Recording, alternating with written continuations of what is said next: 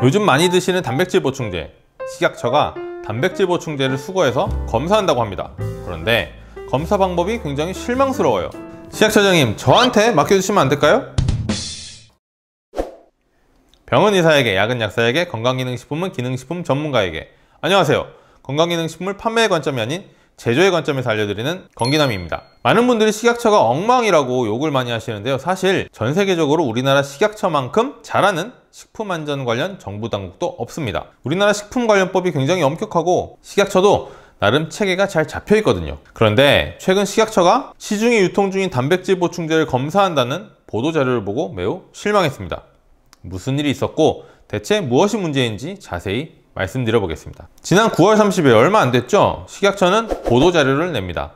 국민청원 안전검사제 단백질 보충제 검사한다. 그대로 한번 읽어보겠습니다. 식품의약품안전처는 단백질 보충제를 국민청원 안전검사 대상으로 선정하여 시중에 유통 중인 총 244개 제품에 대해 대장균 및 스테로이드 등 불법 성분 함유 여부를 검사할 예정이라고 합니다. 참고로 식약처의 국민청원 안전검사제는 국민들이 직접 청원한 의견 중 하나를 선정하여 관련 제품들을 실제로 검사하고 결과를 발표하고 사후 조치하는 정책입니다. 2018년 12월에 최고의 정부 혁신 정책으로 대통령상을 수상한 식약처의 국민 참여형 정책으로 식약처가 매우 공을 들이는 정책 중 하나입니다. 지난주에 제가 거래하는 제조 공장들에 물어보니까 벌써 식약처에서 단백질 제품들을 수거해 갔다고 하네요 굉장히 빠르게 움직이고 있는 것인데요 여기까지만 보면 와 식약처 잘한다 화이팅 뭐 식약처가 간만에 일 좀 하네 이렇게 보이실 텐데요 제가 봤을 때는요 반쪽 조사 혹은 보여주기식 전시 행정으로만 보입니다. 그 이유를 보도자료를 보면서 말씀드릴게요. 조금 전에 읽어드린 부분은 보도자료 1페이지에 있는 내용이고요.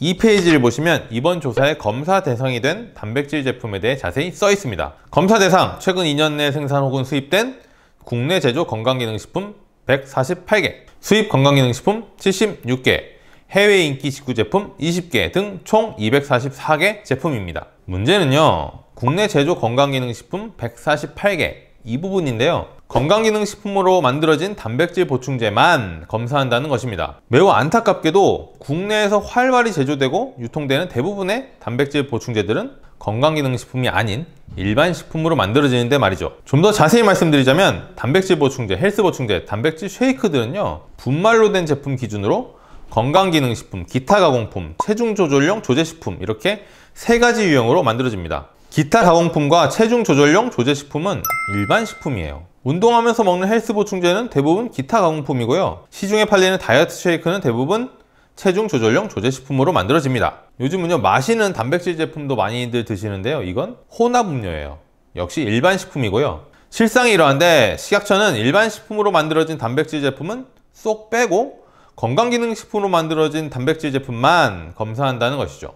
더 큰 문제는요 검사 대상에서 쏙 빠진 일반 식품으로 만들어진 단백질 보충제들이 건강기능식품보다 제조 및 유통 과정에서 문제가 있을 확률이 훨씬 높다는 데 있습니다. 제가 몇 번 말씀드렸죠? 건강기능식품과 일반 식품의 하늘과 땅만큼 차이나는 제조 및 유통 그리고 판매에 관한 규정들 이번 검사는 국내에서 생산된 단백질 제품에 한해서 아무 의미가 없는 검사입니다. 소비자들이 실제 많이 사 먹는 제품들을 검사해야 하는데 실제 업계에서 많이 팔리는 제품들과 일반 식품으로 만들어진 수백 가지 단백질 쉐이크들은 모두 제외하고 식약처가 관리하고 수거하기 편한 건강기능식품으로 만들어진 단백질 보충제만 검사를 하는 행정편의주의식, 실적 우선주의식 전시행정이라고 생각됩니다. 이왕 국민 세금으로 검사하는 거 제대로 검사해야 하는데 말이죠. 아 그런데요. 참고로 이번 검사에서 칭찬해 줄 만한 것도 있습니다. 바로 수입 건강기능식품 76개, 해외 직구 제품 20개를 검사한다는 것인데요. 실제로 유명한 해외 제조 단백질 보충제들이 우리나라 수입될 때 거의 대부분 건강기능식품으로 등록되어 들어오고 유통되기 때문에 식약처가 굉장히 잘 판단한 것입니다. 해외 직구 제품들의 검사 결과도 기대가 되고요. 자, 12월에 검사 결과를 발표한다는데요. 이 영상을 식약처장님께서 꼭 보셔서 지금이라도 늦지 않았으니 조금 더 늦게 조사 결과를 발표해도 좋으니 국내 단백질 제품의 검사 대상을 늘렸으면 좋겠습니다. 식약처의 국민청원 안전검사제가 매우 좋은 정책으로 거듭나려면 국민들이 실제로 먹고 사용하는 제품이 무엇인지부터 꼼꼼히 조사해 봐야겠네요. 구독과 좋아요 잊지 마시고요. 건기남이었습니다.